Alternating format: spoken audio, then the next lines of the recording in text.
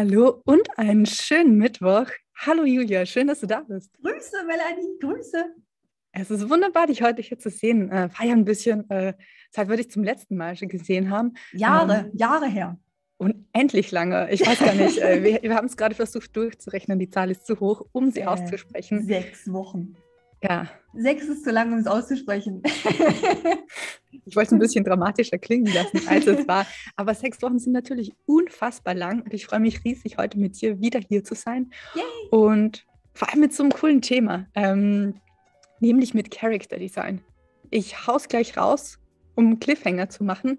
ähm, Hallo auch an alle im Chat, schön, dass ihr da seid. Für alle, die bei YouTube sind, ihr kennt das Spiel, kommt rüber zu Behance. Ähm, hier gibt es einen Chat, hier wird Julia heute alle eure Fragen beantworten.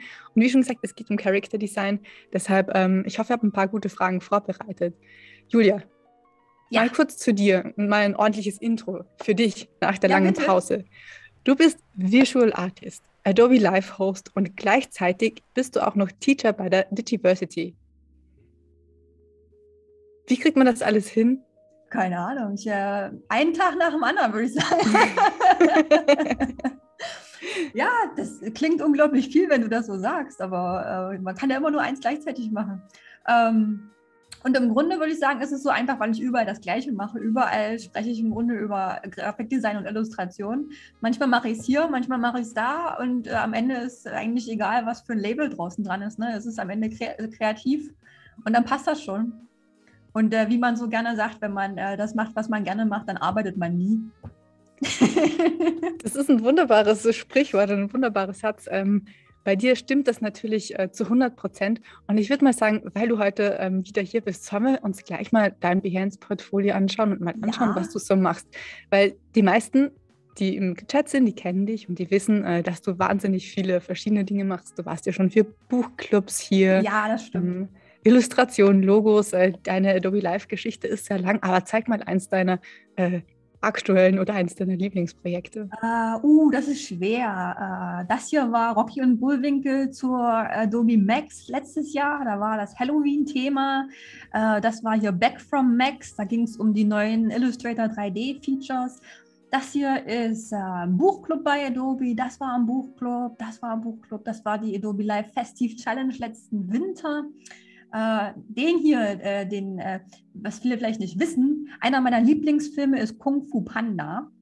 Ich bin ja ein riesengroßer Animationsfilm-Fan und den habe ich im äh, Flugzeug gemalt auf dem Weg nach ähm, Kansas City letzt, äh, vor sechs Wochen. Also wer sich fragt, warum ich jetzt sechs Wochen weg war, ich war in den USA mit meinem Freund und äh, während alle anderen gepennt haben im Flugzeug, habe ich den Master Shifu hier gemalt auf meinem iPad. Das hat Spaß gemacht und wie du schon sagst, ich mache so viele verschiedene Sachen. Ich habe ja auch gar nicht wirklich äh, einen eigenen Stil. Ähm, ich glaube, wenn man die Sachen anguckt, weiß man nicht, dass das eine Person, glaube ich jedenfalls, dass das eine Person gemacht hat. Ich mache auch gerne äh, ähm, traditionelles, äh, traditionelles Malen, also mit ähm, Kohle oder mit Bleistift. Das war hier ein Adobe Live Masterclass zum Portrait Painting. Äh, die hatten wir in Deutschland und in UK. Das war wieder was ein ganz anderes Thema. Es hat nicht viel mit Grafikdesign zu tun. Ähm, und dann habe ich eben, wie du schon erzählt hast, mit Digiversity, also Russell und ich, wir sind ja zusammen Digiversity TV und wir haben unseren eigenen Livestream hier auf Behance und das sind diese Sachen hier. Äh, das letzte, was wir gemacht haben vor ein paar Wochen, war das Adobe Foto Ecosystem. Äh, dann haben wir diesen äh, nimm, deinen, nimm deinen Zuschauer mit zur Arbeit Tag, wo wir einfach nur an Projekten arbeiten und Leute können zugucken, wie wir da hasseln und äh, strugglen. Dann hatten wir ein Thema letztes Jahr im, nee, das war noch im Januar, uh, Pimp Your Behance. Der, der kam ziemlich gut an, weil ich immer viel Arbeit in meine eigenen Behance-Projekte stecke, um das Ganze irgendwie auch zu pimpen und interessant zu machen. Und das ist auf jeden Fall ein absolutes Highlight. da haben viele Leute gefragt, wie ich das mache. Und dann ging es dann einen Stream wirklich nur um das Thema, wie mache ich meine Behance-Projekte. Ja, und der Grund, warum Russell und ich in den USA waren, äh, jetzt sechs Wochen lang, ist, weil wir an einem Kinderbuch arbeiten. Ich wollte schon mein, meine ganze Karriere über endlich ein Kinderbuch machen. Und äh, Russell hat einen kleinen Enkelsohn, der heißt Sully. Und weil Russell jetzt mit mir hier in Deutschland lebt, äh, machen wir fast jede Woche eine Geschichtenrunde über Zoom. Das heißt, Sully macht seinen Zoom an, wir machen unser Zoom an und wir lesen ihm Kinderbücher vor. Und aus dem Grund haben wir ein riesengroßes Regal mit Kinderbüchern uns angelegt. Das ist schon eine wirklich große Bibliothek. Und sind, da sind so wunderschöne, niedliche Sachen mit dabei. Und ich dachte immer, das kann ich eigentlich auch. Und das wollte ich auch schon immer mal machen.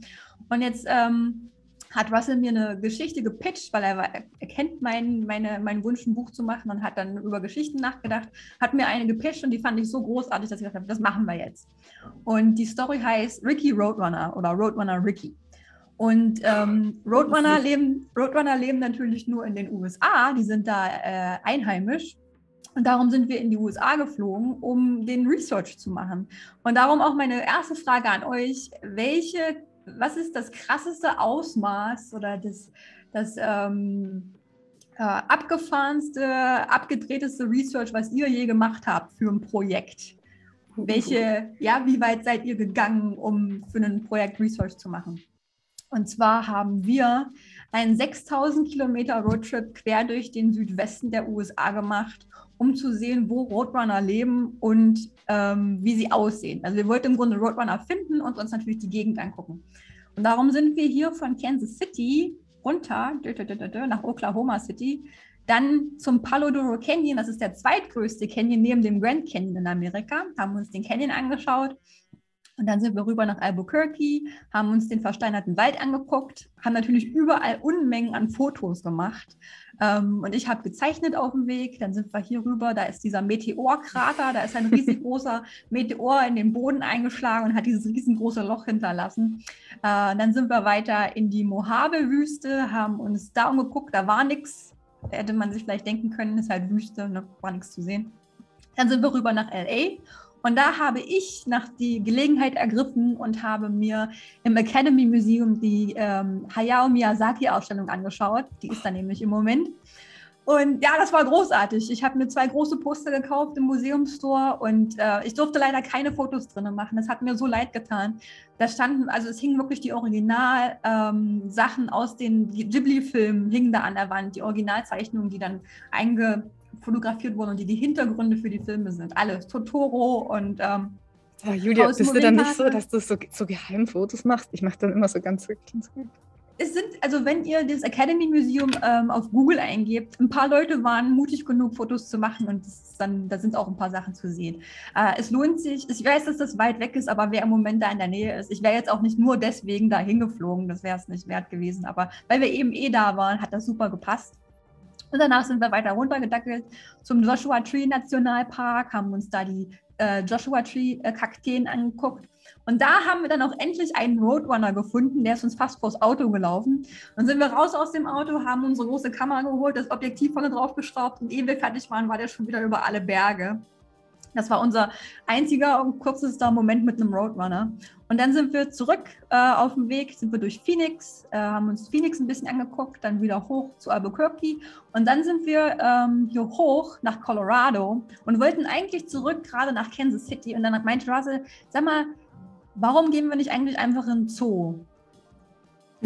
Und ja, warum auch? Warum einfach, wenn es auch kompliziert genau. ist, oder? Und dann haben wir alle Zoos ange äh, angerufen und gefragt, haben Sie Roadrunner? Und die Leute, nein, haben wir nicht. Was ist das?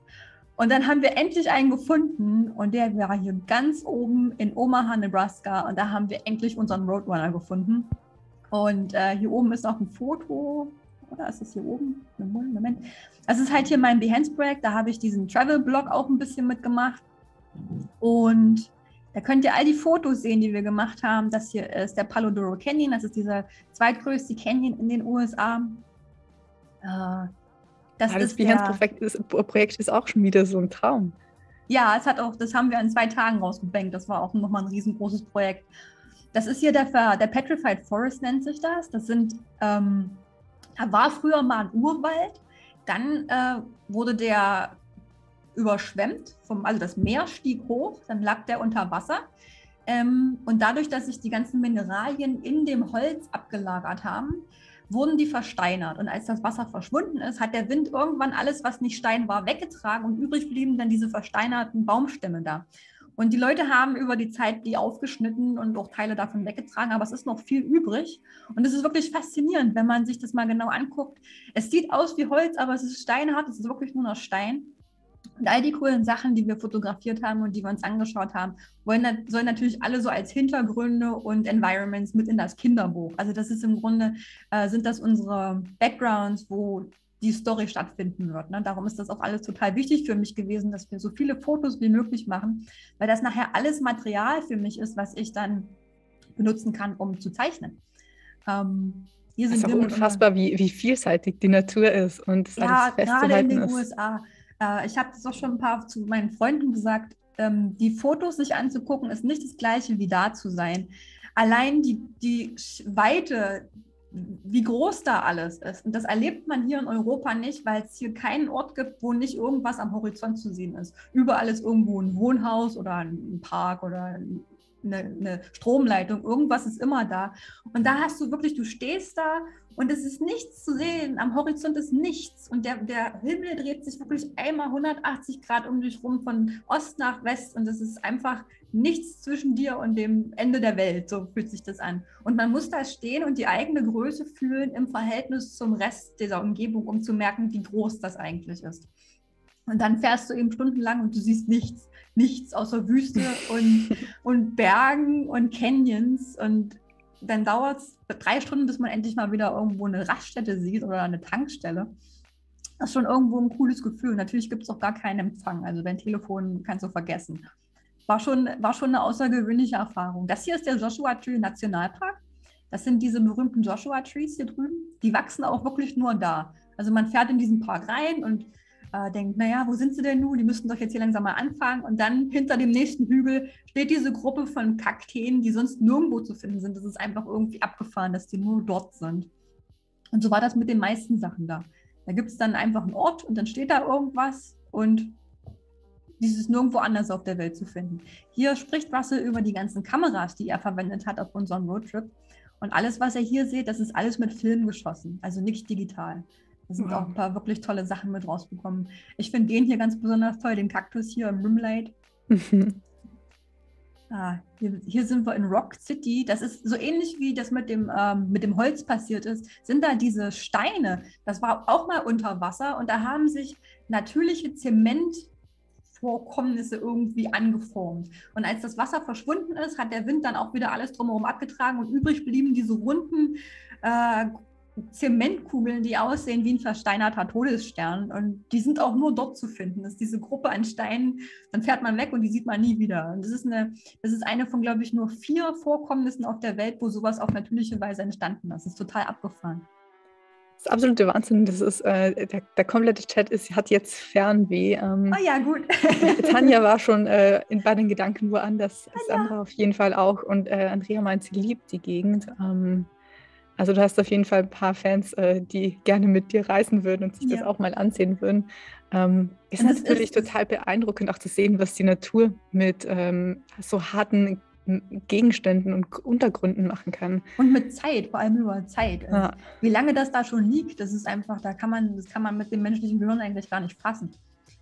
Der, das hier ist der Meteorkrater, da hat dieser, äh, in Arizona ist das, da ist der Meteor eingeschlagen. Man sieht hier auf dem Bild gar nicht so gut, wie groß das eigentlich ist. Und die haben äh, hier an dem Rand von dem Krater so ein kleines Fangglas installiert, wo man durchgucken kann. Und dann würde man sehen, dass hier unten am Fuß des Kraters, da steht so ein kleiner Astronaut in seinem Anzug, so eine Puppe, damit man verstehen kann, wie die Proportion ist. Den sieht man hier auf dem Foto nicht mal. Also hier unten irgendwo steht so ein kleiner Astronaut. Und wenn man durch das Fangglas guckt, sieht man das. Und dann kriegt man ein Gefühl dafür, wie riesig dieser Krater ist. Und dass der in, in ein paar Sekunden entstanden ist, als dieser Meteor da eingeschlagen ist. Und zack, war da ein riesiges Loch in der Wüste. Unfassbar. Also, ja, es, es, ist, es, ist, es ist schön, dass wir heute mit äh, dir und Russell äh, noch ein bisschen durch eure Reise durchgehen können und ein bisschen mitreisen dürfen. Russell ist nämlich im Chat. Hallo Russell, schön, dass du da bist. Ähm, und auch für, äh, Hallo an alle anderen, die gerade dazugekommen sind. Äh, Andreas, Stefan, Gelana Art ist dabei, Doris natürlich, Annika. Schön, dass ihr alle da seid. Ja, ich freue mich. Hm. Und hier seht ihr ein Stück von dem versteinerten Holz. In dem Nationalpark darf man nichts aufheben und mitnehmen. Das ist verboten. Da kommt sofort die Polizei und bringt einen ins Gefängnis. Aber drumherum, außerhalb des Parks, da liegen diese Sachen auch rum und Leute verkaufen das da, weil es wirklich eine große Gegend ist, wo das zu finden ist. Und das Stückchen hier, das haben wir uns eingepackt und mitgenommen. Und dann waren wir hier in Arizona in einem Navajo-Reservat. Ähm, das hier drüben ist Elsie Yellow Horse. Die ist ähm, aus dem Stamm der Navajo und wir haben sie gefragt, äh, wie man Roadrunner auf Navajo ausspricht und sie hat uns dann erklärt, mit viel hin und her und überlegen und Tante anrufen und Cousine fragen, wie man das denn ausspricht. Äh, man sagt es ähm, Setlozi, also Setlozi. Und das heißt so viel wie der mit dem langen Schwanz. Wieder was gelernt.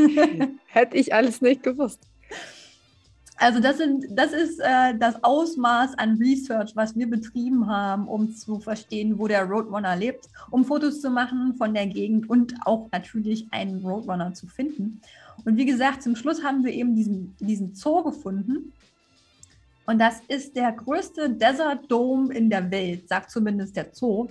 Und da haben die vier verschiedene Wüsten drin, ähm, ich glaube äh, aus Südafrika, dann die, in der wir waren und dann noch zwei Wüsten, die ich vergessen habe. Und sie sagen, das ist, sind die vier Wüsten mit der größten Bio, die Biodiversität äh, in der Welt.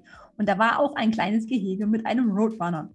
Und der saß da oben auf seinem Felsen, total äh, angepisst von dem Lärm, den die Kinder und die Familien da gemacht haben, hat er sich die ganze Zeit oben auf seinem Felsen versteckt. Und ich habe noch gedacht, oh, ist ärgerlich, dass der nicht mal runterkommt ins Gehege und mal hin und her rennt, damit man mal Fotos von ihm machen kann.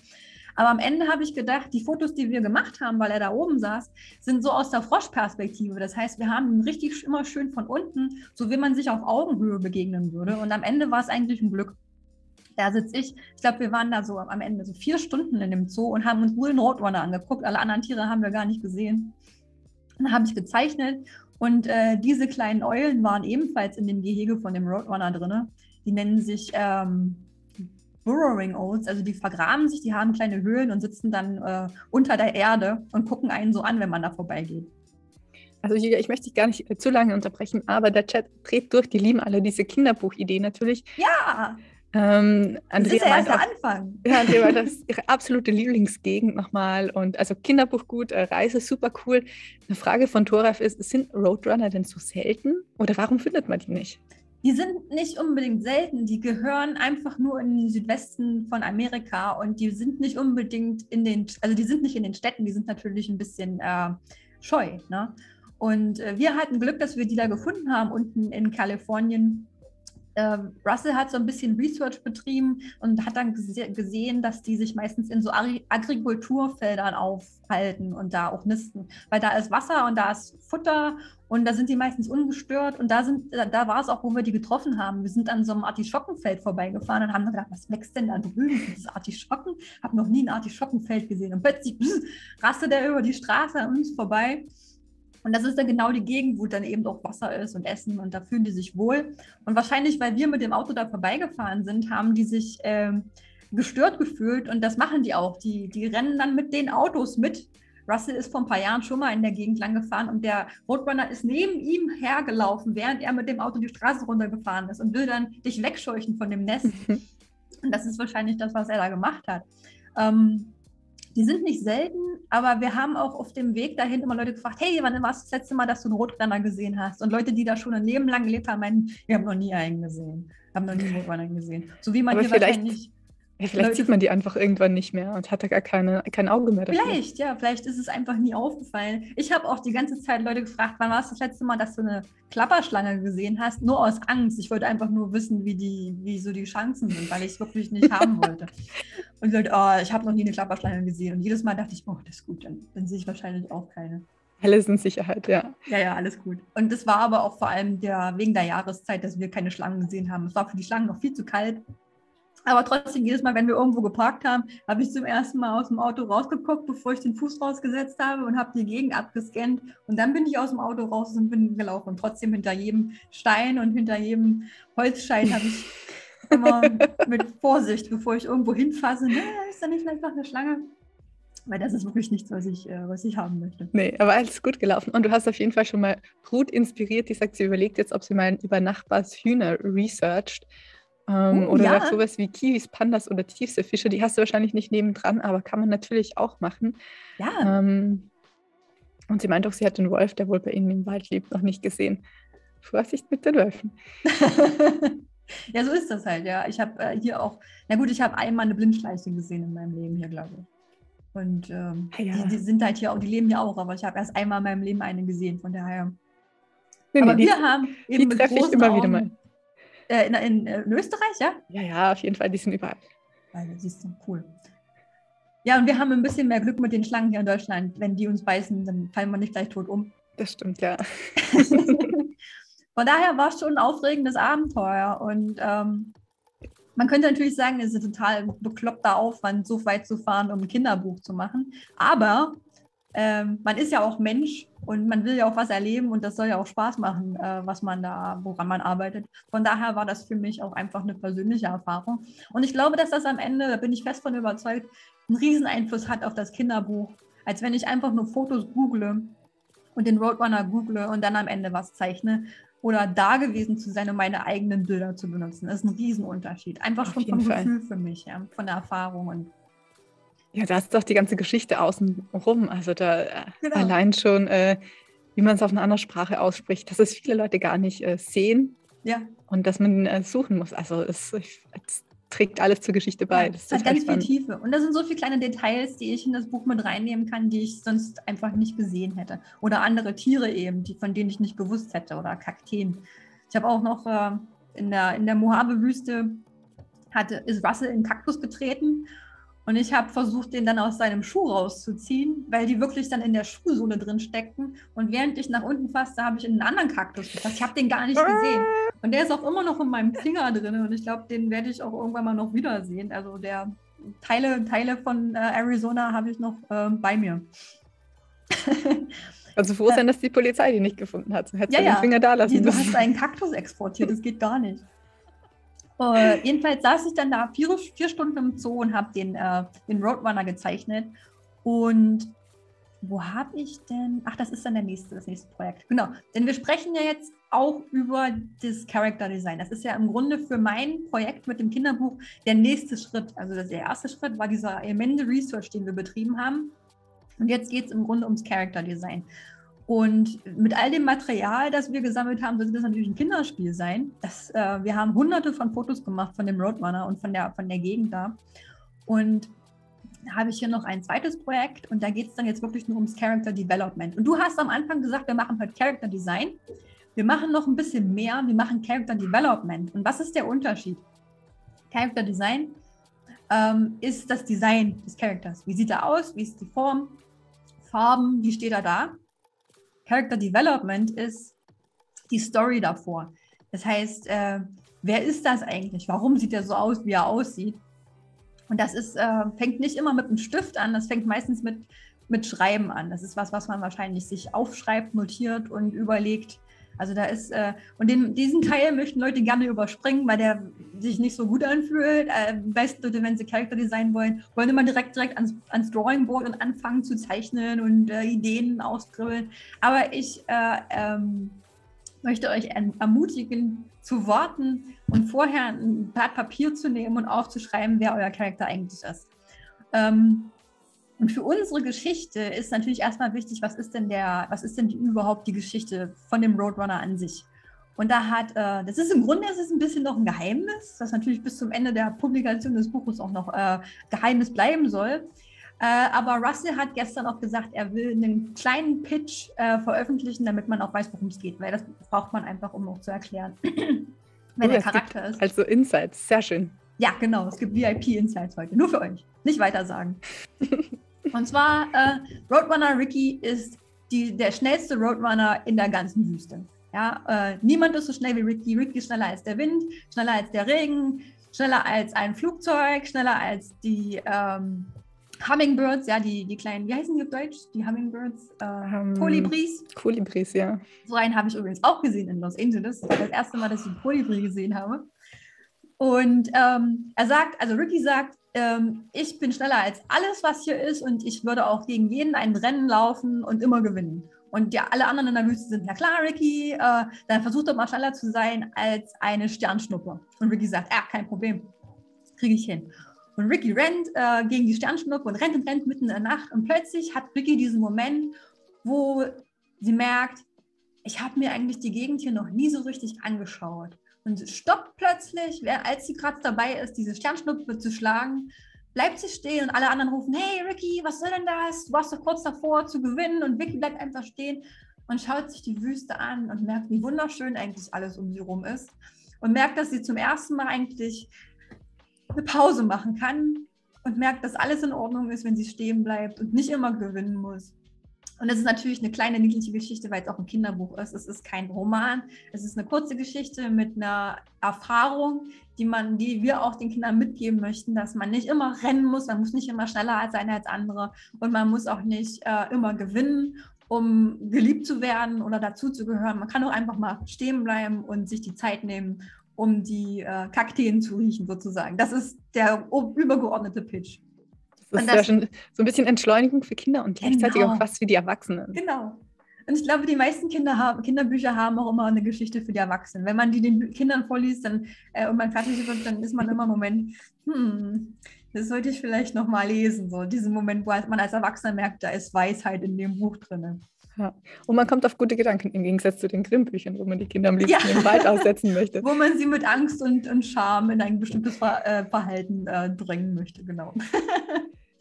Ja. Genau, so das ist. Äh, wahnsinnig viele Komplimente im Chat schon. Äh, Thoralf sagt, das ist ein schöner Plot und äh, Ruth ist schon jetzt gespannt auf das Gesamtergebnis. Ähm, ja, und Russell cheert natürlich für die Story im Chat. ja, und äh, das ist im Grunde die Story, die wir auf 32 Seiten dann ausbreiten, weil das ist so die magische Zahl für Kinderbücher. Länger sollten die nicht sein, sagen viele Publizisten. Und aus der Geschichte natürlich kommen wir rüber und müssten uns das Character Script angucken.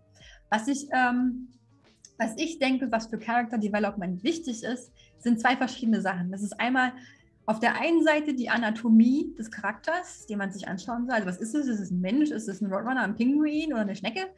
Wir schauen uns also den Körper an. Was ist die Kreatur an sich? Wie ist die Struktur? Wie ist die Geometrie? Wie, wie sieht das aus? Und die andere Seite des Character Developments ist das Innere, das heißt der Charakter, meine, mein Background, meine Geschichte. Was sind meine Wünsche? Was sind meine Bedürfnisse? Was sind meine Ziele und woher kommen die? Warum habe ich die? Und wohin verändere ich mich? Und das ist im Grunde in, in jeder Geschichte so. Das ist in Filmen so, das ist in Büchern so und natürlich auch in Kurzgeschichten. Wir haben einen Charakter, der ist irgendwie aufgrund bestimmter Vergangenheit ist der so. Dann passiert was in der Geschichte und er verändert sich ähm, aufgrund dieser Ereignisse zu einer anderen Person. Das ist im Grunde so der Character Arch, wo man sagt, wir verändern uns von A nach B.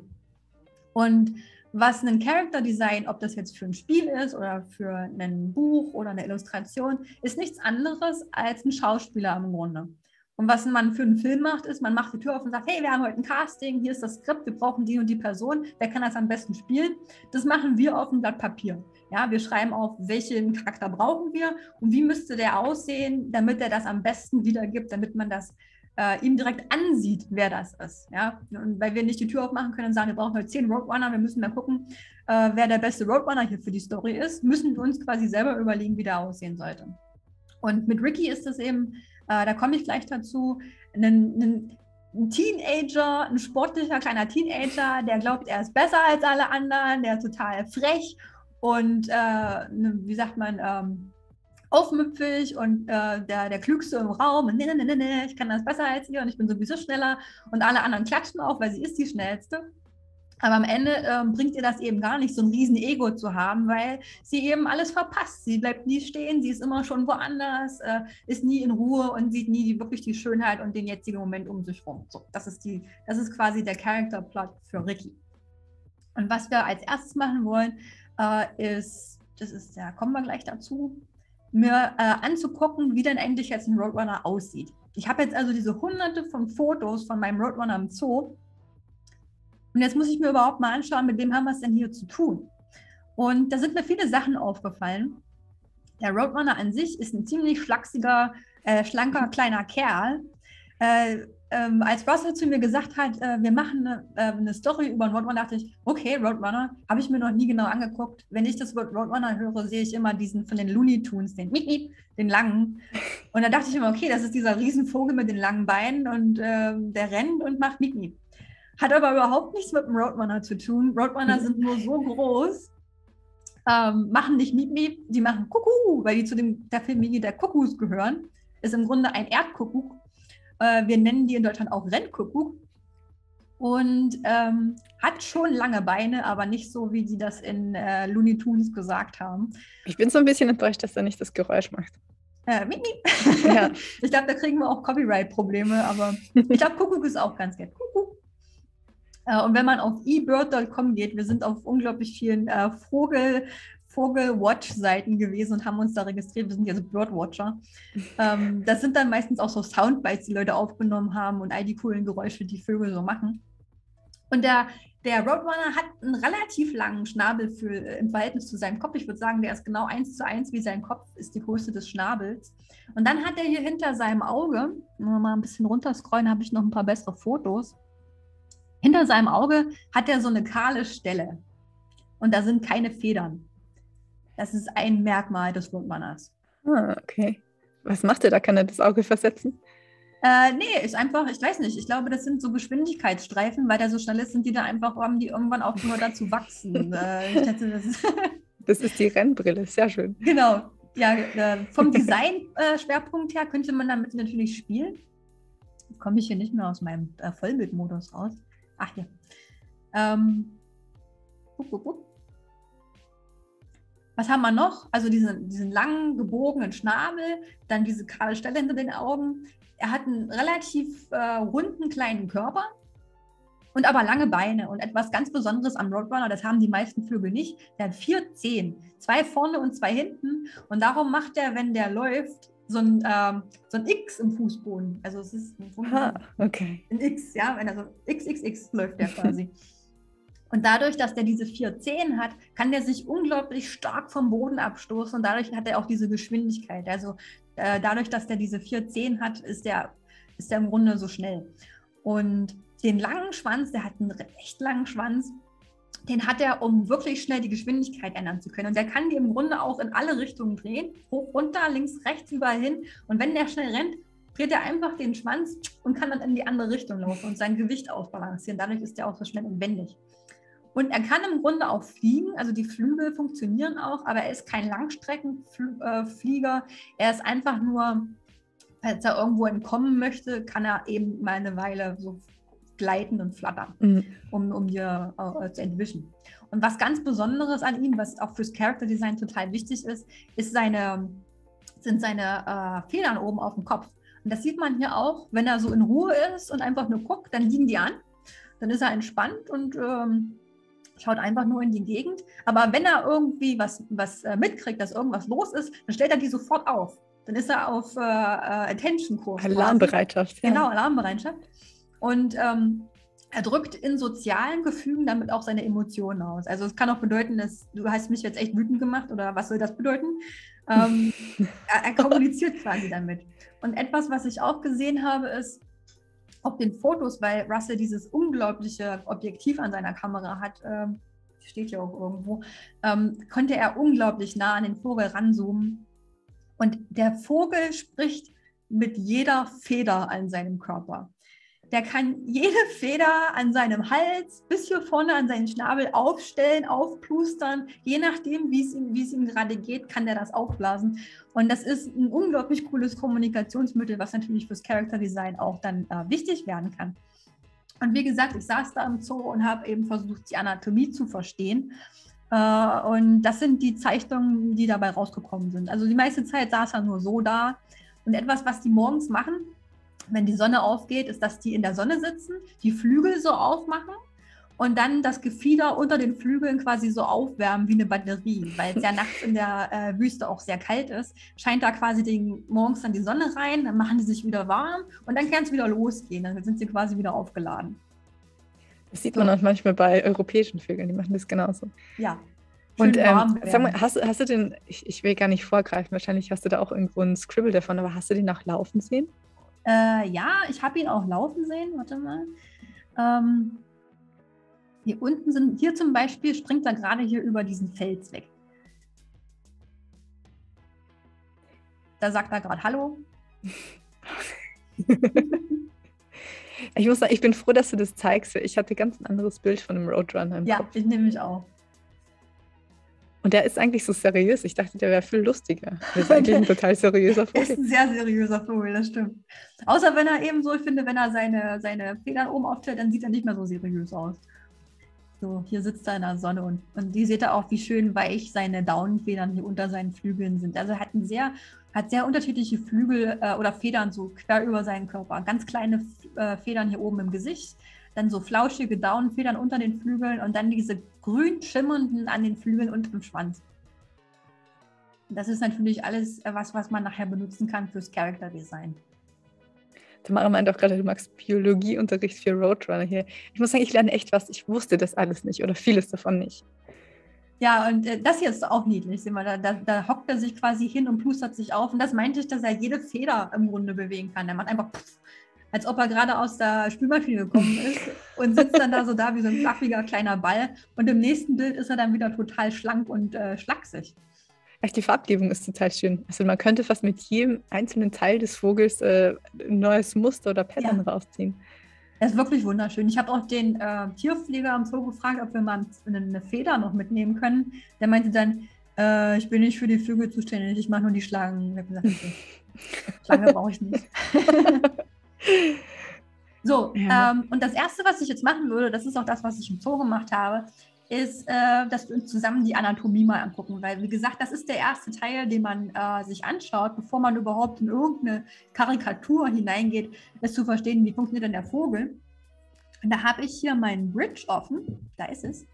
Da sind dieselben Fotos, äh, falls ihr wissen möchtet, wie Russell und ich mit diesem Bridge-Workflow zusammenarbeiten, weil das alles kollaborativ ist, da hatten wir einen Stream am Montag auf Digiversity TV.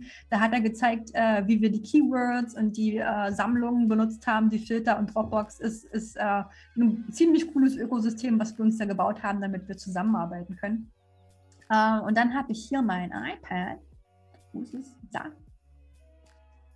Und dann fange ich jetzt einfach mal an. Ach so, noch was, was ich gemacht habe. Ähm, als ich angefangen habe, den Roadrunner zu zeichnen, da war ich noch in den USA, habe ich gemerkt, dass ich unglaubliche Schwierigkeiten habe, mir den Vogel im 3D-Raum vorzustellen. Ich wollte ihn also von unten und von links und von rechts und ich konnte es einfach mir nicht in meinem Gehirn vorstellen. Und dann sind wir in den Laden gegangen und haben uns so ein bisschen Knete geholt. Und dann habe ich mir diesen kleinen Roadrunner-Kopf äh, gebastelt damit ich mir den äh, hinhalten und von allen Seiten angucken kann und verstehen kann, wie das denn aussieht, wenn ich ihn mal von unten oder von oben sehen möchte. Oh, das ist sehr cool. Das war sehr hilfreich. Es ist eine ganz simple äh, ähm, äh, Vereinfachung von seinem Kopf im Grunde, aber es hat mir schon riesig geholfen, äh, mir das endlich vorstellen zu können, weil ich wirklich, ich saß da und mein Stift und mein Kopf wollte mir einfach nicht sagen, wie der Roadrunner von unten aussieht. Ich habe es einfach nicht hinbekommen. Ich dachte, okay, ich brauche jetzt Hilfe. Also das ist eine ziemlich coole Lösung. Das war ganz einfach so an der Luft trocknende Knete kann man sich einfach kauen. Das ist auch wieder eine schöne Erinnerung. Ich muss ja gestehen, dass äh, das Illustrieren dann im 3D-Raum, wenn man sich das von allen Richtungen vorstellt, das ist immer was, äh, wo ich die Geduld so ein bisschen wegwerfe. Es fällt mir am, am schwersten so von allen. Es ist so hart. Ich finde es unglaublich schwierig. Ich glaube, ich habe schon oft gehört, dass man, dass es besser wird, desto mehr man das trainiert. Und dass Menschen, die mit 3D-Software arbeiten, da auch echt einen Vorteil haben, weil die das die ganze Zeit sehen und das Gehirn das lernt. Äh, ich bin noch nicht da. Ich, äh, ich brauche brauch externe Hilfe. Ich brauche externe Rotrunner-Hilfe. So, ich habe jetzt hier mein Photoshop offen. Äh, und dann schauen wir uns einfach mal an, wo wäre denn mal ein Bild, was gut funktioniert. Äh, das sind schon die Expressions. Der hier zum Beispiel, der ist doch easy peasy. So, also was ich gemacht habe, grundsätzlich erstmal verstehen, das sieht ja erstmal kompliziert aus, ja. Also und je nachdem, was für eine Kreatur ihr ähm, äh, developen wollt oder entwickeln wollt, kann das natürlich unterschiedlich schwer sein. Der Vogel auf einer Skala von 1 bis 10 ist für mich, glaube ich, eine 5. So. Und schwierig ist er für mich vor allem wegen seinen Beinen. Ich hatte echt Probleme, seine Beine zu verstehen, weil der drei Gelenke hat. Und ich habe nur zwei. Ja? Ich habe meine Hüfte und mein Knie. Und dann kommt schon mein Knöchel. Und das, das habe ich bei dem Vogel einfach nicht begriffen. Ich habe mir ganz viele Fotos angeschaut und habe gesehen, wie der rennt. Und dann hatte er sein Bein hier vorne. Ich denke, wo kommt denn das Knie da jetzt her? Warum hat er denn drei Gelenke? Bis ich verstanden habe, das Skelett des Roadrunners, wenn man, wenn das hier die Wirbelsäule ist, von der Seite gesehen, hier ist seine Hüfte, hier ist der, äh, der Schwanzknochen, um, dann kommt hier ein langer Oberschenkelknochen raus, der hier in das Knie übergeht, dann kommt das Schienbein runter, der in ein weiteres Gelenk übergeht und dann macht er nochmal sowas, was dann hier in die Kralle übergeht. So, und da sind dann hier die vier Krallen. Und ich habe das nicht verstanden. Ich sage, warum hat denn der hier nochmal ein Gelenk? Das hat doch sonst keiner. Und das, ich muss das ja nachher zeichnen, ich muss das ja illustrieren. Und, und äh, das zeigt mir, ich habe ja keinen Roadrunner hier, wo ich dann sagen kann, tu mal so, als wenn du gerade rennst. Und ich muss mir das ja ausdenken, auch wenn ich die Fotos habe. Und ich will ja mit eigenen Ideen auch und äh, verschiedenen Perspektiven arbeiten. Ich kann ja nicht immer von der Referenz leben. Und ich habe wirklich versucht, das zu verstehen, bis mir klar wurde, dass das hier seine Hacke ist. Und wenn ich dem jetzt einen Schuh anziehen würde, würde das im Grunde so aussehen. So. ja, und jetzt verstehe ich, genau, dass der die ganze Zeit auf den Zehenspitzen steht und dass das hier hinten sein Hacken ist. Und dass das im Grunde, das hier ist alles sein Fuß, was der so weit entwickelt hat, dass der nicht mehr hinten auf dem Hacken steht. Und weil ich, ich habe das erst begriffen, als ich diesen kleinen Hackendorn hier hinten an diesem Knöchel gesehen habe, wurde mir das dann klar, ach, das ist sein Fuß. Und der steht auf den Zehenspitzen und der rennt doch auf den Zehenspitzen. Und jetzt kann ich auch besser verstehen, wie, der, wie ich den animieren würde, wenn ich das müsste. Ja, hat sie mal angerufen. Ich hatte ein ähnliches Problem beim Vogelstrauß von mir. Ja, und, und äh, habe ich mir gestern auch angeschaut, weil jemand meinte, ey, das ist doch wie beim Strauß. Und dann haben wir uns ein Skelett vom Strauß angeschaut und dann habe ich gesehen, der hat diesen riesengroßen Oberschenkelknochen. Der ist kurz, aber riesengroß. Und da liegt auch dieser riesige Muskel drumherum, der sieht aus wie ein Bodybuilder. Das ist total abgefahren. Ja, muss man erst, äh, muss man erst mal recherchieren, um da drauf zu kommen. Ja. Man ignoriert das ja auch einfach, wenn man es auf Bildern sieht, finde ich.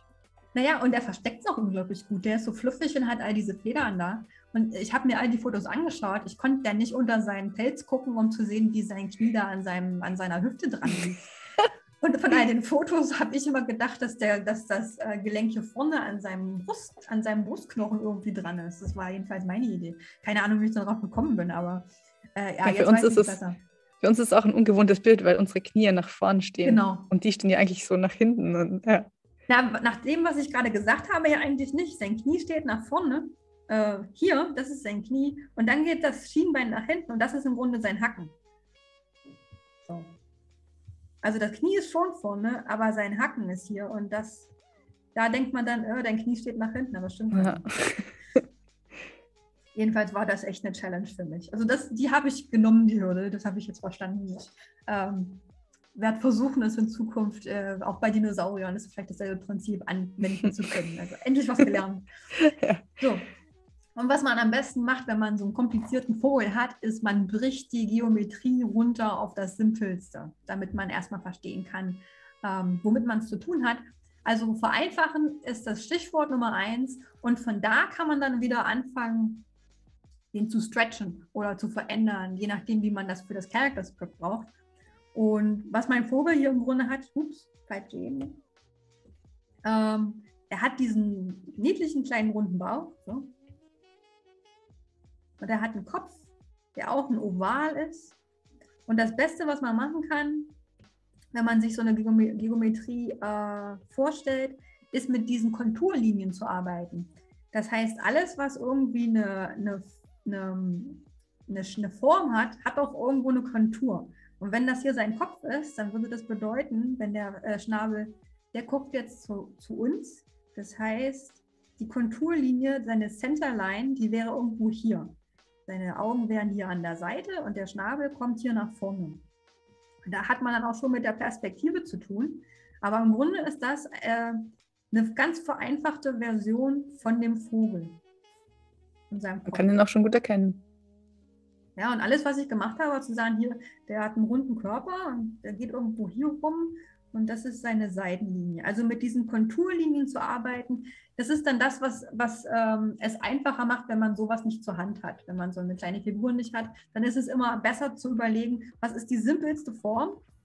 Und simpel meine ich wirklich äh, ein Viereck oder einen, einen, äh, einen Quader oder ist es eine, eine Kugel oder eine, eine Pyramide oder einen, Cone? Ja, was ist es so? Das sind die simpelsten Formen, mit denen wir arbeiten können. Und wenn wir die so runterbrechen und nicht mehr denken in, äh, in ähm, Schlüsselbeinknochen, weil das ist vollkommen egal, da braucht nachher kein Schlüsselbeinknochen. Keine Ahnung, wo der überhaupt ist, der Schlüsselbeinknochen, wahrscheinlich irgendwo hier. Aber, oder irgendwo hier unten, keine Ahnung. Das ist ja bei dem Vogel einfach nicht vorhersehbar.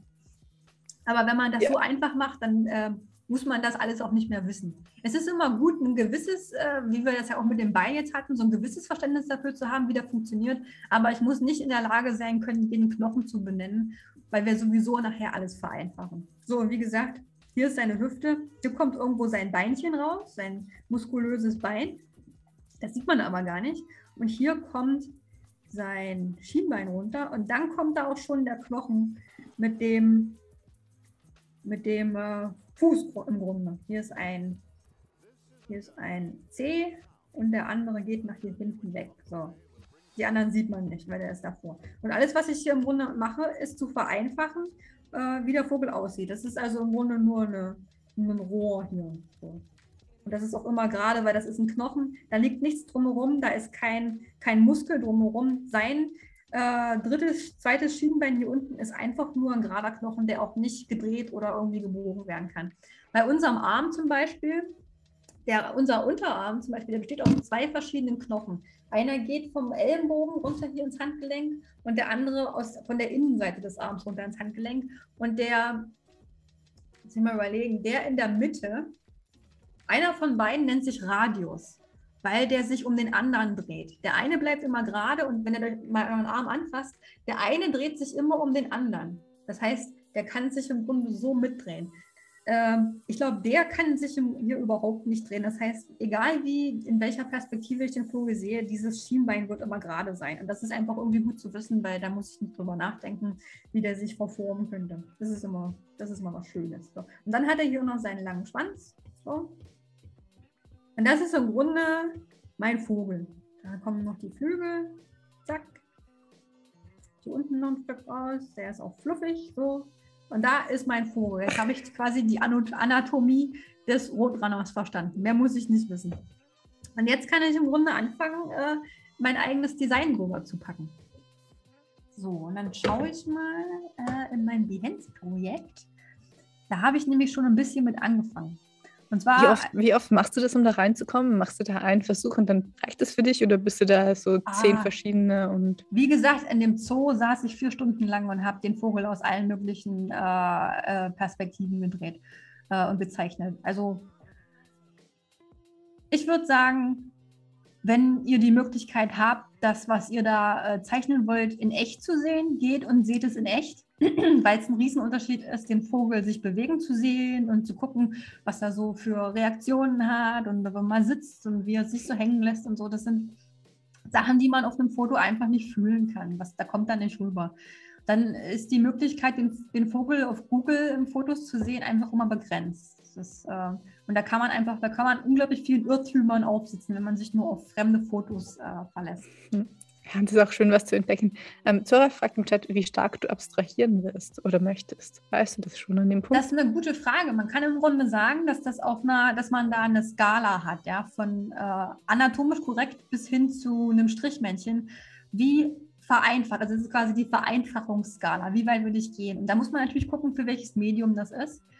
Und äh, selbst für einen, selbst für einen ähm, Animationsfilm würde ich sagen, dass es auch an, dass es eine Budgetfrage ist wie einfach kann man den Vogel machen und noch animieren? Oder wie komplex kann man ihn machen und noch animieren und im Budget bleiben, weil das einfach unglaublich ähm, viel Geld kosten kann, Details in den Vogel reinzubringen, die dann am Ende gerendert werden müssen. Und selbst wenn ich jetzt überlege, dass ich 32 Seiten von diesem Buch malen muss und der Vogel ist auf allen Seiten, muss ich mir jetzt schon überlegen, dass ich nicht alle Federn malen kann. Das ist unmöglich. Oder ich sitze hier 100 Jahre und es ist unbezahlbar am Ende. Ich meine, ich mache das nicht fürs Geld, ich mache es, um es fertig zu machen, um für mich in der Schublade zu haben und mich zu freuen.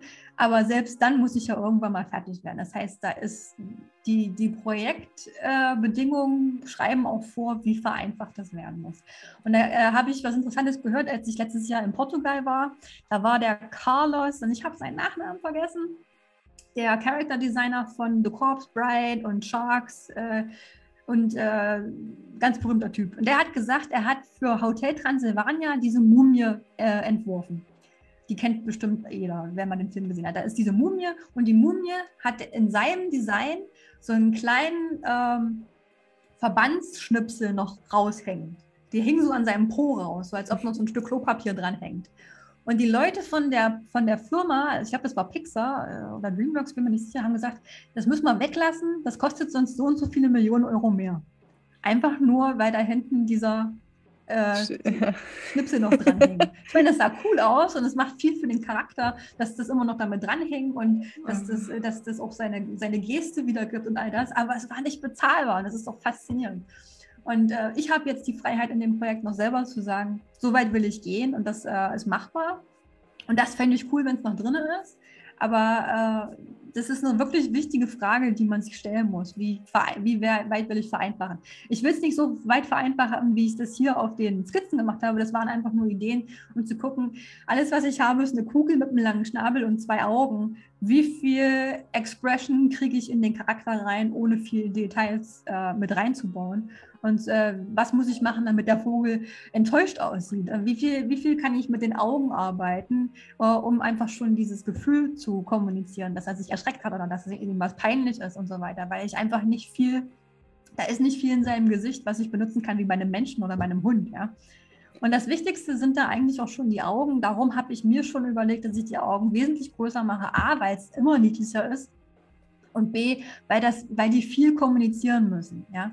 Die, äh, wenn man das Character Script jetzt anguckt von Ricky, äh, immer unter Strom, immer woanders hin, immer für die nächste Challenge, immer das nächste Abenteuer und nie so richtig im Hier und Jetzt große Augen, kleine Pupillen, immer weit offen, gucken, was ist los, äh, was ist, macht ihr da hinten eigentlich gerade, was ist denn da hinten los?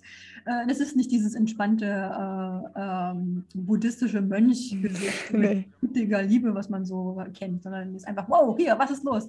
Äh, ja, als ob man unter Strom stehen würde. Und das kommunizieren die Augen am besten. Und auch den Schnabel. Der Schnabel hat seine ähm, Begrenztheit, weil der sich ja auch nicht bewegen lässt.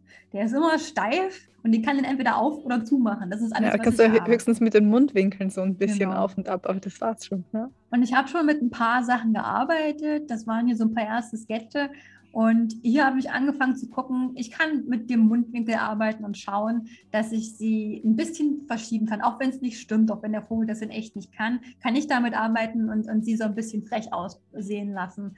Und ähm, das hier war letztendlich, das war mein letzter Entwurf soweit, als ich gesagt habe, äh, da fühle ich, da geht jetzt Ricky, das ist Ricky, hier geht's los. Und da seht ihr schon, dass ich relativ große Augen gemacht habe, dass äh, ihre Federn oben wichtig sind, weil die werden viel kommunizieren. Und für den Schnabel habe ich einfach nur offen und zu und die Mundwinkel, mit denen ich arbeiten kann. Und die ist, drücken. Ich finde, es ist so ein super schöner Mittelweg zwischen schon kindgerecht, aber nicht äh, zu, zu, zu einfach oder zu kitschig, weißt du? Ja, Manchmal hat man so große Augen und dann äh, ja. ist das alles. Aber das ist wirklich einen äh, schönen Mittelweg gefunden. Ich hoffe, es, ich hoffe es, weil es auch immer noch, das ist natürlich die Challenge, es muss auch immer noch wie ein Roadrunner aussehen. Ja. Es sieht so ein bisschen elegant aus, das mag ich irgendwie. Ja, sie, ich habe versucht, sie relativ schlaksig zu machen und kindlich und wie halt ein Teenager, äh, weil sie ist ein relativ junger Roadrunner. Und äh, eben auch dieses Sportliche. Und wir haben äh, gespielt mit der Idee, hinten an dieser kahlen Stelle hinter ihren Augen eben diese Rennstreifen reinzumachen oder vorne auf ihrem Schnabel. Und da ist eben auch die Frage, wie weit bringt man den Vogel jetzt in die menschliche Welt? Sie wird kein Stirnband tragen und sie wird keine ähm, Turnschuh tragen, aber sie muss trotzdem irgendwie sportlich aussehen. Wie kriegt man das hin? Äh, macht man ihre Beine länger? Malt man ihr Shortsmuster auf die Oberschenkel oder Rennstreifen auf den Schnabel? Das sind alles so Ideen, mit denen wir gespielt haben. Und jetzt äh, würde ich mal probieren, wir haben noch circa 40 Minuten, äh, den Vogel so mit meinem Design quasi auf, die, auf seine äh, Gestik zu packen. Ja? Mhm. Also back to, zu meinem äh, ja, iPad und Bridge. Hier habe ich die gleichen Fotos. Das sind die ganzen äh, Gesichter, die er für uns gemacht hat. Äh, und falls irgendwelche Fragen sind, schrei es einfach rein. Der Chat ist total begeistert, muss ich. Ich sag's dir jetzt äh, einfach so zwischendrin. Ähm, mhm. Es ist, Karina sagt, das ist super schön aufbereitet, sie ist total begeistert und Torf meint, bei den Skizzen kommen schon die Emotionen wunderbar rüber. Sehr gut. Und falls du doch nochmal eine Vogelreferenz brauchst, Tamara hat einen Graupapagei, der plustert Ey. sich immer auf und der kommuniziert mit den Wangen und Mundwinkeln, oh, wenn er wow, sich freut. Wahnsinn. Ist das nicht genial? Also, wenn du den zu Hause hast, würde ich dir empfehlen, mach doch ein Kinderbuch über ihn.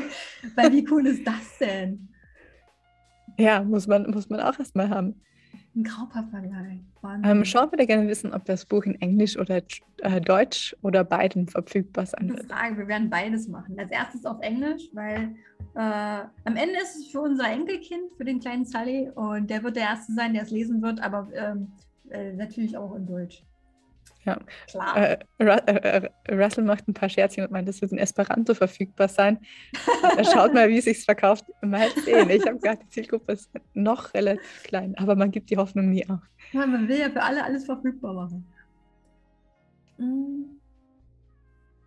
Und Tim ja. meint gerade, allein die Fotos sind schon äh, 1A Reaktionssticker. Ich meine, wie, wie, gut, wie gut zeigt der Vogel, was er sich denkt. Das ist wirklich äh, sehr da, lustig anzusehen. Ich habe da vier Fotos von ihr, wo, also muss ich mal kurz, äh, Roadrunner, kann sein, dass, hier, Roadrunners. Ich habe vier Fotos, wo es so aussieht, als würde sie direkt an einem Telefonat teilnehmen. Und ich weiß nicht, vielleicht hat Wasser die anderen jetzt vor. Ah, hier, das ist der falsche Text, so. Ihr seht, wie viele Fotos wir gemacht haben. Und das, die, die ich da habe, die sind nur die, die kleinste Auswahl. Und Russell hat die auch alle bearbeitet. Das ist ja ein unfassbarer Aufwand. Ja, also ich, es war auch ein bisschen, ich hatte auch ein bisschen Angst davor, weil es wirklich so viele Fotos waren. Aber mit, durch diesen, durch, dadurch, dass Russell sich so gut mit Bridge auskennt, war es wirklich einfach äh, easy peasy. So hier, hallo, ja, das ist Roadrunner, hier, hier ist Roadrunner, wer ist denn da? Ach, ach du bist. Ah, ah nee, ich habe jetzt keine Zeit. Ah. Oder der, oder der Klassiker aktuell. Können Sie mich hören? Können Sie mich sehen? das ist herrlich. Ja, hallo? Woher hat er denn meine Nummer? also ich, ich habe, als beim, beim Foto durchgucken, habe ich schon diese ganzen Emotionen so in, in ihn reingelesen. Ah, es ist Montag, diese, weißt du, dieses Vermenschlichen, was man dann schon selber so hat, wenn man die, diese Ausdrücke so sieht. Ha! ja, man kann sich das auch stundenlang ansehen, das ist unfassbar. Ja, und einfach nur so ein kleiner Vogel, ne? Hey, hey. Selber doof. Aber sag mal, hast du vor, sowas wie die Federn irgendwie zu, keine Ahnung, zu kopieren oder dir eine Textur zu erstellen oder so? Das ständig ja, wieder neu zu illustrieren, das ist ja unfassbar ich weiß noch nicht, Ich weiß noch nicht, wie ich es umsetzen werde. Ähm, wahrscheinlich werde ich mir einfach eine, ähm, ich muss es irgendwie vereinfachen, ja. Also ich glaube nicht, dass ich jede, jede einzelne ähm, Feder malen kann. Wahrscheinlich wird es irgendwo auf eine ich weiß es noch nicht, kann ich noch nicht. Du könntest, du könntest äh, den Vogel in 3D bauen. Ja. Und dann nur Details drüber illustrieren. Ja, das wäre natürlich eine super einfache Lösung. Das ist eine gute Lösung. Dann kommst du wieder, dann machen wir einen Dimension-Stream und alles, was dazugehört. Wenn das in Dimension so einfach wäre, würde ich das machen. Es würde wahrscheinlich ähm, eher, äh, ach, wie heißt das? Blender, Blender benötigen. ist auch eine Option. So. Ruth interessiert sich auch für, für das Feld und wie aufwendig du das illustrieren wirst. Ja. Also wir sind alle gespannt. Mal gucken. Ähm, was wollte ich jetzt? Achso, Russell hat, wir haben uns einen, wir haben uns so einen verrückten 3D-Drucker gekauft. Zu Weihnachten haben wir uns selbst geschenkt. Es nennt sich, Tim, hilf mir mal, das nennt sich, äh, das ist so ein Epoxy-Harzdrucker. Und der druckt von oben nach unten. Also ganz abgefahren. Das heißt, wir wollten auf jeden Fall, wenn wir wissen, wie Rickys Design aussehen wird, wenn es steht, wollten wir auf jeden Fall auch eine 3D-Figur davon machen. Also das ist, da kommen wir nicht drum herum. Ah ja, Wahrscheinlich nicht wir, sondern jemand anders, aber irgendwer wird es drucken. Ja, das, äh, das muss eigentlich sein bei dem ganzen Aufwand. Da muss man das bis zum Ende durchziehen. Genau, wenn dann richtig, ja. Ja, und dann noch Animation, Hörbuch und dann. ja, genau. So, wir probieren mal den hier unten. Der ist doch relativ süß. So. So, was, ähm, äh, wenn, wir, wenn wir mit der Anatomie uns jetzt einigermaßen vertraut gemacht haben, das habe ich ja gemacht, ähm, geht es darum, das eigene Design, also die eigenen Sketches und, die, und Designideen jetzt äh, quasi zu übertragen äh, auf ein Referenzfoto, wo ich sehen kann, wie er sich so bewegt. Er sitzt da also jetzt so und äh, wer das, wer schon mal gemacht hat, ähm, Live-Drawing, da äh, guckt man immer nach der Gesture Line. Und ich weiß gar nicht genau, wie ich das übersetzen könnte. Die Gesture Line ist, viele Leute verwechseln das mit der Wirbelsäule. Und ich, vielleicht schauen wir mal nach einem Foto mit ein bisschen mehr äh, Action. Auf einem hat er sich ja so gedreht. Hier zum Beispiel, das ist ein gutes Beispiel. Ähm, wo ist die Gesture Line jetzt in diesem Foto? Und Leute, wie gesagt, verwechseln das oft mit der Wirbelsäule. Es ist nicht, die, es ist nicht das Center des Vogels, sondern es ist, die, es ist die Bewegung. Ja? Das ist die Energie in der Bewegung, ist die Gesture Line. Und was er da macht, ist, den Kopf rumzuwerfen und zu sagen, pa, ich bin schneller als alle anderen. Und die Energie ist in dem Moment das nach oben. Das heißt, wenn ich die Gesture Line hier malen würde, würde ich sagen, boom, so, ja, nach oben. Dieses weg von den anderen und hoch so arrogant diesen Kopf nach hinten zu werfen und sagen, ich bin schneller als alle anderen. Ach, der, ich, du kannst mir gar nichts. So dieses, diese Energie nach oben quasi. Und wenn wir die gefunden haben, diese Linie, dann wollen wir die immer ein bisschen noch überspitzen. Ja? ja ihr könnt das ja gar nicht sehen. Ich ja noch nicht, nee, du bist noch auf dem, auf dem Foto. Wir, wir genießen gerade noch das wunderbare Foto. Das hier wäre quasi so meine Gesture Line. Dieses, das ist die Energie raus aus, weg von dieser Kurve da und dann rein. Das ist, das ist quasi seine Motion. Und das ist manchmal schwer zu finden, äh, wenn jemand einfach nur still da sitzt. Darum, für mich finde ich, ist Live-Drawing immer einfacher, wenn jemand total dynamische Positionen äh, vorgibt. Wenn jemand einfach nur da liegt oder da sitzt, ist es immer irgendwie schwer zu finden. Aber auch da ist im Grunde eine Energie und manchmal ist es einfach nur das Gewicht der Person, die sie nach unten zieht. Ja, also wenn ich jetzt einfach nur hier so da liege in meinem Stuhl, ist auch da eine Gesture Light. Und zwar ist das einfach mein Körper und mein Gewicht, was mich nach unten in, äh, zum Boden zieht. Und das ist manchmal schwer zu finden, aber auch trotzdem da. So, und was ich jetzt hier machen würde, ist. Ähm, Wer sich, auch, wer sich noch mehr dazu ansehen möchte, da gibt es ein wunderbares ähm, Video mit Klaus Schawinski, wie er dynamische Figuren zeichnet und alles im Detail erklärt. Oh, ist das nicht cool, was wir schon für eine krasse Bibliothek an Wissen haben hier auf Adobe Live? Ist einfach genial. Ja, es Man kann immer auf irgendwas verweisen. Ja, es ist wunderbar. Man muss sich nur merken, wer da war und wer genau was gemacht hat. Und dafür haben wir ja euch. Meine Maus? Ah, da. Ja. So. Schmeißen wir das mal weg. So, und jetzt versuche ich das mal umzusetzen. Ich habe hier im Grunde quasi meine. Ich wollte auch das hier machen. Ein Vögelchen. So, und die Gesture Line würde ich jetzt sagen, äh, hier unten. Sein ganzes Gewicht geht nach unten. So. Und dann kommt natürlich seine Form. Hier sein Flügel, seine puffige Brust, seine ganzen Flügelfedern hier vorne. Und dann sehe ich nicht viel von seinem Unterkörper, weil der Felsen davor ist, aber hier ist noch sein Schwanz. So. Und seine seine Federn sind hier drüben. Und dann das Allerwichtigste ist, dass sich hier sein Kopf so versteckt. Er versteckt sich quasi so ein bisschen in sich selbst. Ja? Er versucht sich warm zu halten und Das ist vielleicht schon am Ende des Buchs, wenn Ricky so ein bisschen zur Ruhe gekommen ist und einfach nur so die Schönheit der Wüste genießt, dann ist das hier schon so ein, äh, vielleicht schon das perfekte Beispiel dafür, dass sie nicht mehr so äh, nervös ist und nicht mehr überall hinrennen muss und allen hinterherläuft oder versucht, die schnellste zu sein.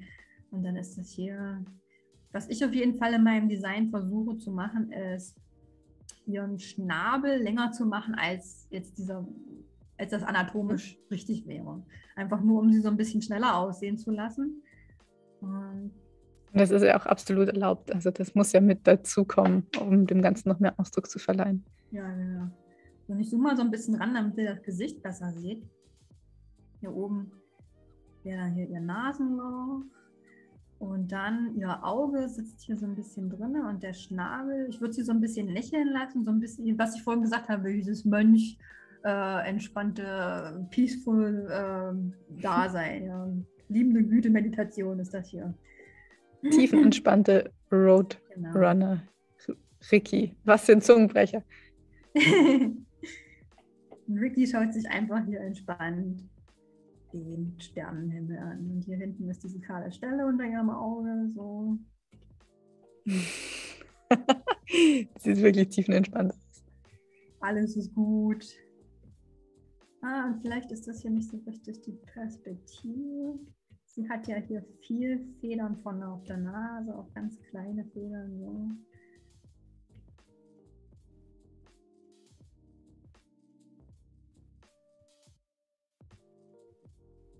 Also es ist total spannend, mit wie wenig Linien man eigentlich schon so eine Emotion kommunizieren kann, beziehungsweise ja. auch einen Charakter vergeben kann. Das, gerade hier, ich werde das, mal, werd das mal wieder rausradieren. Einfach nur, dass ihr mal seht, wie viel ihr mit den Augen schon macht. Seht euch mal das an. Wenn ich jetzt. Ja? Der Wahnsinn. jetzt ist plötzlich so, was? Was ist das da oben? Was? Das habe ich ja noch nie gesehen. Oh mein Gott. Äh, Russell nennt das immer hier die Rick und Morty-Augen. ja. das sieht doch schon ein bisschen wahnsinniger aus. Ja, die sind immer auf, auf Krawall und Volldampf. Genau. Ähm, würdest du für, für, für ähm, alle, die jetzt zusehen und vielleicht gerade mit Character Design oder Development beginnen, würdest du sagen, die sollen erstmal nur mit ähm, Mimik und Gestik ähm, sich ausprobieren oder würdest du direkt schon sagen, hey, nehmt einen Charakter und äh, dreht den in alle Richtungen und gebt dem alle Formen?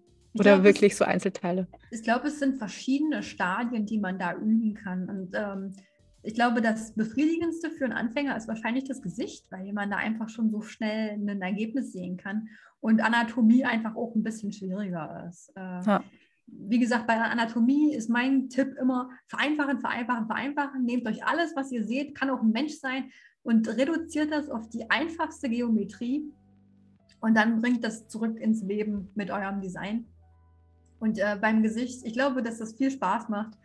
Ähm, ihr könnt euch auch einfach mal einen, einen Charakter von jemand anderem runterladen, das Foto, die Augen rausmachen und einfach mal versuchen, äh, mit verschiedenen Augen zu probieren, wie der Charakter gucken würde. Ich kann sie ja auch böse gucken lassen und einfach ähm, mal gucken, wie ich das machen kann. Also einfach mit verschiedenen äh, Augen ausdrücken, zu gucken, dass ich sie wirklich äh, irgendwie fies äh, gucken lassen kann. Und das ist, das leitet sich immer auch von der menschlichen Emotion ab. Also immer irgendwie einen Handspiegel dabei haben und zu gucken, wenn ich jetzt wütend gucken möchte, was ist denn das wichtigste Merkmal? Das sind meine Augenbrauen, die nach unten ziehen. Ich kann dabei auch lächeln. Ich sehe trotzdem noch böse aus. In dem Moment ist das der wichtigste, der wichtigste Ausdruck hier. Und jetzt guckt sie halt so ein bisschen fies. Sie guckt fies, weil auch der Mundwinkel nach oben geht. Wenn ich den jetzt nach unten malen würde, dann ist gar nicht mehr so lustig. Ja, also es sind, es sind, so kleine, winzige Dinge, die man machen kann, einfach um, äh, um äh, den Ausdruck zu verändern. Und ich glaube, das Gesicht ist da das, äh, das Einfachste. Einfach mal experimentieren. Das ist eine Phase, wo man einfach auch experimentieren und Spaß haben kann. Da, und das ist sowieso mein Tipp Nummer eins, egal was ihr macht. Habt Spaß, habt keine Angst, Fehler zu machen.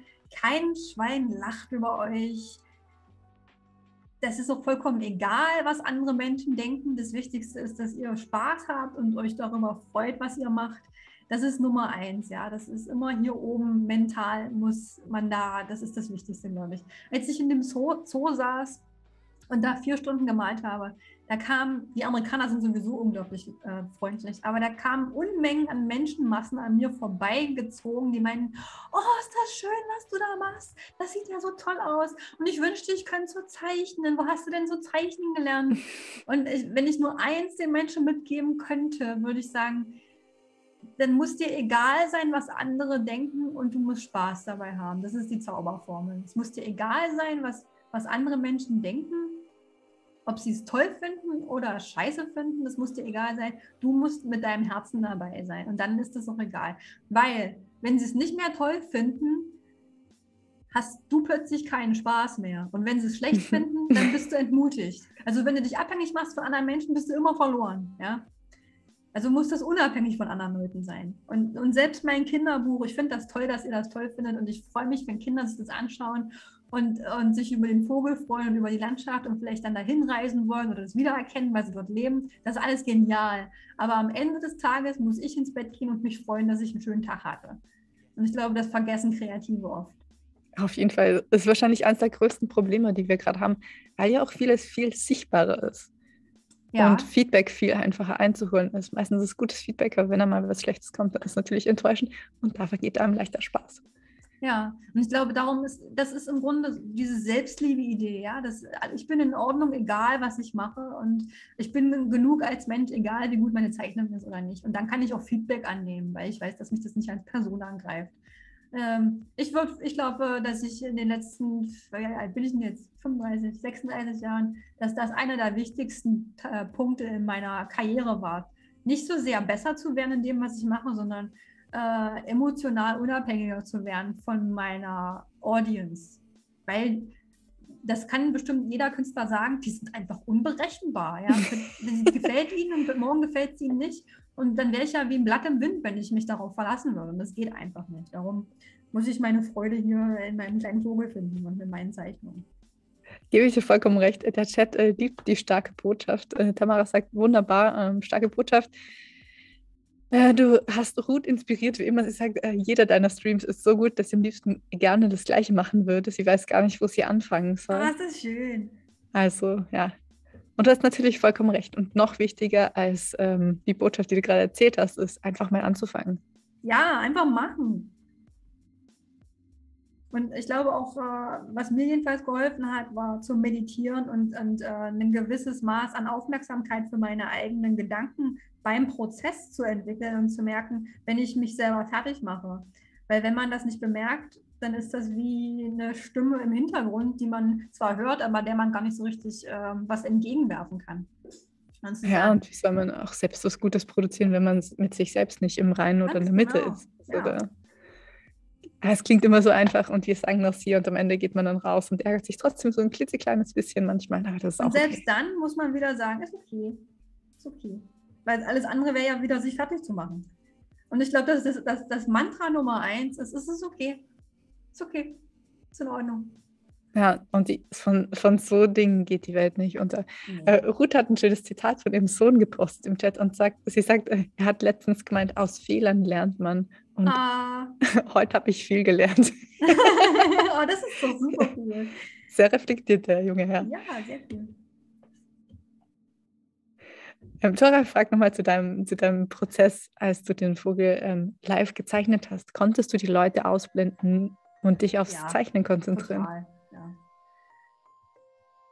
Ich freue mich, wenn jemand sich freut. Äh, einfach nur, um zu sehen, wie die Leute aufblühen. Die, die, viele Leute sind an, an dem Käfig vorbeigegangen und haben den Vogel gar nicht gesehen, sondern bloß meine Zeichnung. Und äh, einfach zu sehen, wie jemand so plötzlich, weißt du, plötzlich strahlt, weil sie irgendwas sehen, was sie toll ja. finden. Das ist natürlich ein super, ist eine super Sache. Aber das war, deswegen war ich ja nicht da. Das ist einfach nur eine, eine schöne Randerfahrung. So. Und wenn, wenn ich deswegen jemanden inspiriert habe oder Kinder dann gedacht haben, boah, das ist möglich oder das geht, äh, und die dann plötzlich auch zeichnen wollen, ja, umso besser. Auf jeden Fall. Genial. Und für dich ist es eine Emotion, die du mitnimmst. Also. Genau. Ich habe hier in Photoshop diesen äh, Animator Pencil, der ist einfach genial. Den habe ich mir gestern einfach mal so ausgesucht. Das ist wirklich super fluffig.